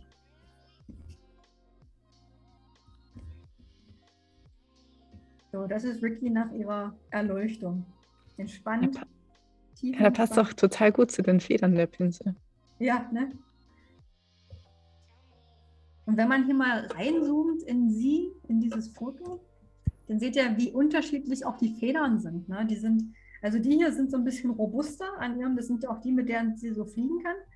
Und dann hier vorne dieses ganz weiche, schöne Daunen und hier unten sind die so richtig lang, lang und ihr seht das natürlich wieder nicht, welche da. Hier unten sind die ganz lang und weich und fluffig. Wie ein Kissen. Es ist wirklich eine, eine schöne Kombi. Also eine schöne Feder, Federkombination. Ja, sie hat alles. Ja, die kann man auch so richtig gut im Wind wehen lassen. Oder wenn die schnell ja. unterwegs ist, dann zieht sich alles so nach hinten, weil die ja so fluffig sind. Da kann man, also kann man gut mitspielen. Genau, ja. So. Wollen wir noch einen machen? Wir haben noch 15 Minuten. Oh ja. So wie ich dich kenne, hast du noch äh, alle Zeit der Welt. Probieren wir mal. Der hier ist doch gut. Würdest du jetzt im Prozess für das Buch ähm, erst Skizzen machen und dann alles fertig? Oder bist du dann so, dass du sagst, okay, ich weiß, wo ich hin möchte, ich fange eins nach dem anderen an und gehe das jetzt vom Anfang bis zum Ende durch also und arbeite das Final aus? Der, der Prozess, den ich, der Grund überhaupt, mein ganz, ganz tiefer innerer Wunsch äh, für dieses Buch. Ich bin ein riesengroßer, wie ich am Anfang gesagt habe, Filmfan, Animationsfilmfan. Und ich liebe Pixar und Disney und DreamWorks und all, alles, was die machen. Cloudy with a Chance of Meatballs und How to Train Your Dragon und all diese Filme. Ich liebe das. Und ich möchte machen, was die machen. Aber ich arbeite da nicht. Und ich will da auch gar nicht arbeiten, weil es viel zu viel Arbeit ist, um das zu arbeiten. ich will aber machen, was die tun. Und ich will, das, will diese Prozesse machen, die die machen. Und äh, durch diese kreativen Prozesse gehen und die anwenden und auch lernen, wie man die anwendet. Und darum ist eigentlich mein, mein, mein wirklicher Wunsch bei dem Buch ist, das so zu produzieren, wie die das machen würden. Und das heißt natürlich Research, Character Design, Environment Design, Color Key, den, äh, den äh, Character Script, den Character Arc, äh, alles, ja, also diesen alles mitzunehmen und wirklich nicht einfach sagen, oh, wir machen ein Buch und äh, 32 Seiten geht um Roadrunner, sieht ungefähr so aus, okay, setze ich mal hin, drei Monate und ich bin fertig. So, mir geht es nicht darum, das Buch fertig zu machen, mir geht es darum, diese diese Prozesse auszuprobieren und zu gucken, wie, was man damit machen kann. Und da geht es natürlich dann auch darum, sich jeden Bereich einzeln anzugucken. Und der nächste Schritt, also der, der, erste Schritt, wie gesagt, Research, dann das Character Design. Der nächste Prozess ist das Environment Design, das heißt die Hintergründe. Wir gucken uns die Canyons an, wir gucken uns die Wüste an, gucken uns die verschiedenen Himmel an, die es im äh, Südwesten von Amerika gibt. Wir gucken uns ähm, die Pflanzenarten an, die Kakteen, ja, andere Tiere. Mhm. Alles, was so mit dazugehört, ist der nächste Schritt. Und auch da werde ich mir wieder Zeit nehmen, weil das, was Pixar oder DreamWorks haben, ist, die haben jemanden für jeden Bereich. Ja? Ein riesiges Team für Hintergrund, ein riesiges Team für den Himmel. Ich weiß, dass es einen, ähm, einen Head of Clouds gibt bei Pixar. Jemand, der sich nur mit Wolken beschäftigt. Ja, und das habe ich natürlich nicht, das mache ich. Und ich will das ja auch selber machen. Ich werde das natürlich nicht meistern oder so genial werden, wie die das sind, weil die sich nur mit einer Sache beschäftigen. Aber ich will es zumindest machen und ausprobieren. Und darum werde ich mir auch für jedes Teil unglaublich viel Zeit nehmen. Ich weiß nicht, wie lange ich an dem Buch sitzen werde, aber es wird auf jeden Fall eine Erfahrung sein, die wichtiger ist als das fertige Buch. Also jetzt ist das Character Design dran. Dann kommt das Environment Design und dann werde ich mit Russell zusammen das Storyboard ausarbeiten. Das heißt, dass wirklich jede einzelne Seite und jeder Frame auf der Seite ein eigenes Thumbnail bekommt und einen eigenen Storyboard-Panel. Ähm, wie man das eben in einem Animationsfilm machen würde. Nur einfacher, weil es eben bloß 32 Seiten sind, statt 24 äh, Frames pro Sekunde. Das ist die Idee. Super cool. Ich bin gespannt, was noch kommt und wie viel wir davon auch äh, hier bei Adobe Live sehen können. Ansonsten können sich die Leute ja bei euch äh, bei äh, Digiversity so ein bisschen umsehen. Da findet genau. man ja den Rest davon. Die Idee für uns war, dass wir wirklich alles komplett äh, dokumentieren. Und der zweite Wunsch, den ich habe, und das ist auch was, eine Leidenschaft, die ich habe, ich, eine Sekunde.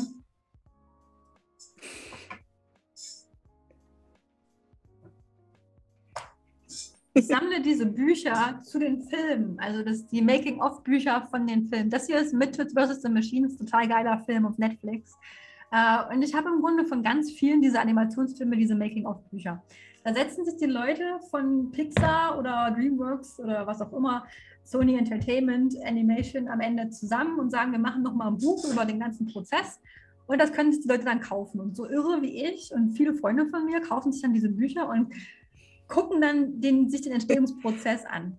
Und was ich machen möchte, wenn wir mit dem Buch fertig sind, ist ein Buch über das Buch zu machen. Das heißt, alles, was wir erklären und alles, was wir gelernt haben, vom Research, Storyboarding, Character Design, Environment Design, bis hin zum Druck, was zum Glück alles Russell macht, weil der ein absoluter Genie ist, was Druck angeht. Wir haben uns in, äh, äh, war denn das? In, in, Missouri haben wir uns die, die Druckerei angeguckt, mit der er arbeitet.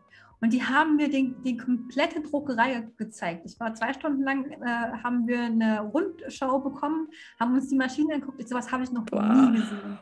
Und da äh, am Ende von der Tour gucke ich da auf eins von diesen ähm, Paletten und da liegt von Brene Brown äh, Atlas of the Heart. Und ich sage, druckt ihr das Buch hier gerade? Ich sage, ja, genau das Buch drucken wir. Ich sage, das lese ich gerade. Ja, das liegt auf meinem Nachttisch. Und die, das ist halt der Wahnsinn. Die machen alles. Die machen äh, die ganzen Druckveredelungen, können die da in diese Eindruckerei machen. Und das ist der Prozess, den dann am Ende Russell noch zeigen wird das InDesign-File, wo, wie sieht die Druckvorstufe aus, wie, wie kriegen wir die Farben einheitlich hin. Das sind alles Sachen, die wir alleine machen, wo uns niemand hilft. Bis hin am Ende, das Buch kommt aus der Druckerei raus und wir halten es in den Händen. Ähm, das wird alles dokumentiert und kommt dann in ein Buch, damit andere Leute auch wissen, wie man ein Buch macht. So, quasi ein Buch über das Buch machen. Ein absoluter Traumprozess. Ja. Äh, ich, ich, ich, ich Ruth fragt, ich, ich, nee, ich, ich, ich mache erst Komplimente, dann die Fragen. Und zwar ähm, wird natürlich schon first of all ein Environment äh, Stream, Stream requested. Das heißt, wenn du die nächsten Schritte machst, das wollen alle mitverfolgen.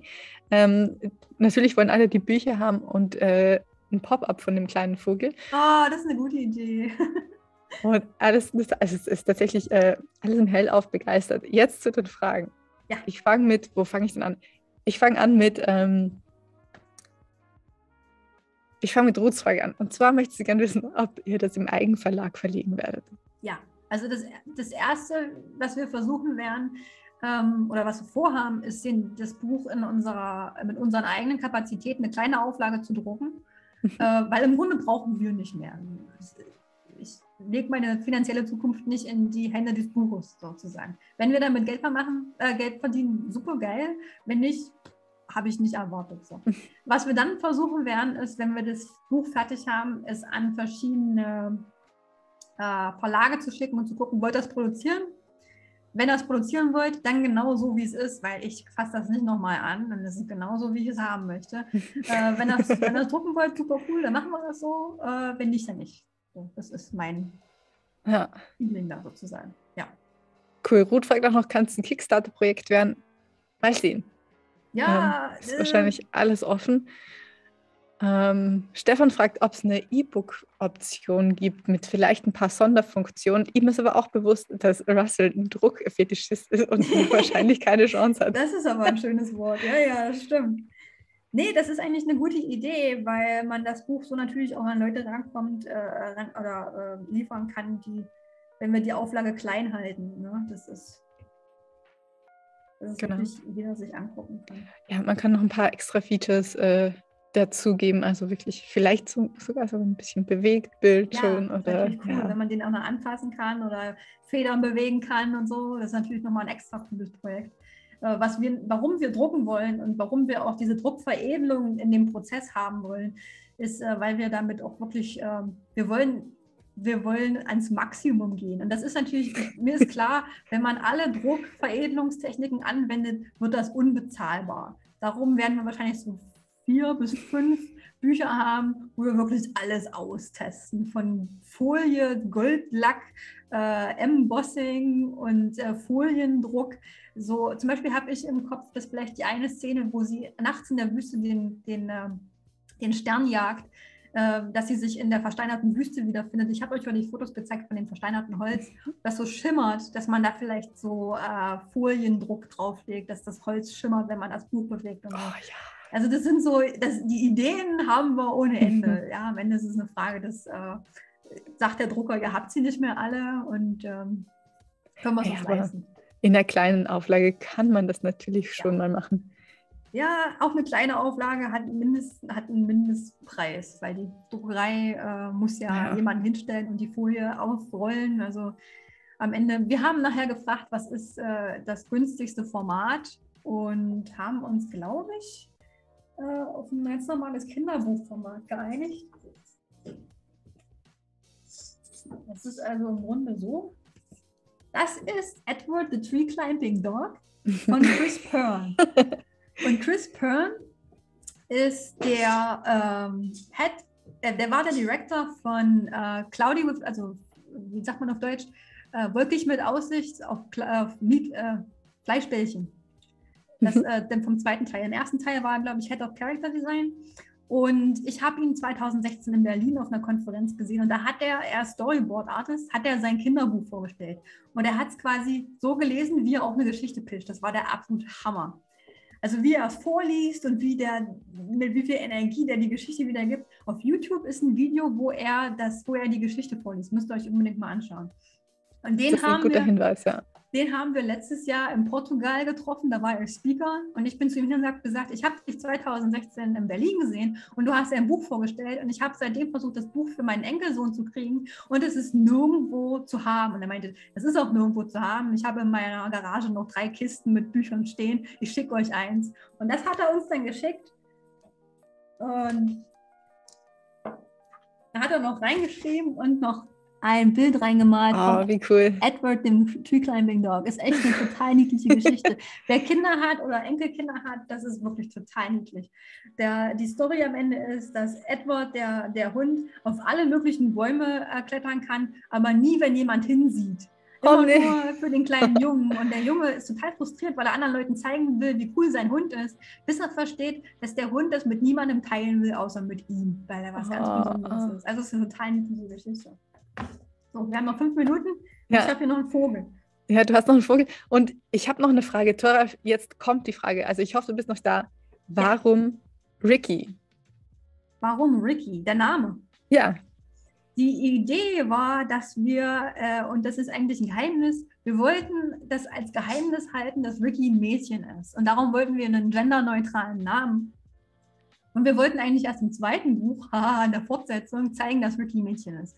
Und, äh, aber ich, wir haben gestern gemerkt in unserem Stream, dass wir die Geschichte nicht wirklich erklären können oder den Charakter nicht erklären können, ohne zu erklären, dass sie ein Mädchen ist.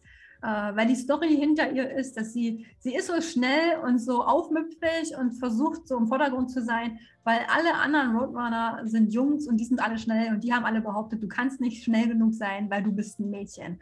Und Vicky hat denen das Gegenteil bewiesen und ist jetzt eben so, wie sie ist, aufgrund ihrer Vergangenheit und ähm, hat eben diesen, diesen Erleuchtungsmoment, wo sie merkt, ich muss überhaupt nicht rennen. Ich kann auch stehen bleiben und ich bin trotzdem immer noch gut genug. Also da ist wirklich, da ist für uns haben wir uns da ganz viel bei gedacht, als wir das äh, uns ausgedacht haben. Nichts ist ein Zufall bei dieser Story. Der Wahnsinn. ja. So. Toraf ist natürlich noch da, natürlich bist du da. Ah. War auch ein kleiner Scherz. Ich weiß doch, dass du da bist. So, hier ist wieder die Stelle. Und hier hat sie ja den, ihren, ihre Federn, die liegen ganz nah an. Da ist eigentlich alles im Gegensatz zu hier drüben, wo sie sich total aufgerufen Da seht ihr mal den Unterschied, ja, dass, äh, wie sie ihre Körperform verändern kann, einfach nur indem sie macht und plötzlich voller Luft ist. Und ich weiß, das sieht hier aus, als würde sie äh, auf dem Foto, als würde sie da irgendwie jemanden zurufen oder so. Aber ich glaube, was wirklich war, ist, dass sie was im Hals hatte. Und hat die ganze Zeit versucht, es rauszukriegen. Und dann hat sie eben auch angefangen, mit, ihrer, mit, ihrem, mit ihrer Pfote so ständig an ihrem Hals zu kratzen. Wahrscheinlich hatte sie da irgendwo äh, einen Käfer drin oder so. Ja, ein zu großes Korn verschluckt. Kommt manchmal vor. Oder ihr war warm. Das kann natürlich auch sein, Tim, ja.